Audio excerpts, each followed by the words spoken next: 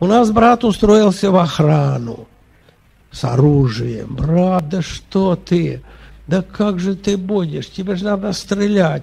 Если там будет нарушение, нет, братья, нет, нет. И, и вот охрана там все устроилась, потом начальником охраны. И, наконец-то, ружье на плечо, как-то, в общем, то, что было оружие на плечо, и прострелил себе руку, и вот сюда вот, сам из своего носимого на плече. Вот Бог, вот он его остановил, ему рассказывали, что не надо. А он не слушал. Но Бог дал то, что Бог допустил.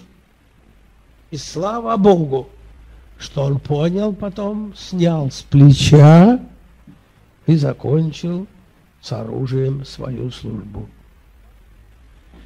Иди, работай там. Нет, там, там много платят. Видите, чем мы? Мы не ценим то, что Бог нам дал.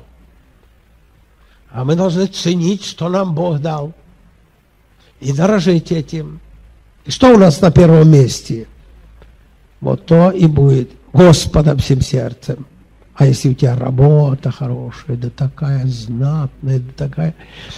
У меня есть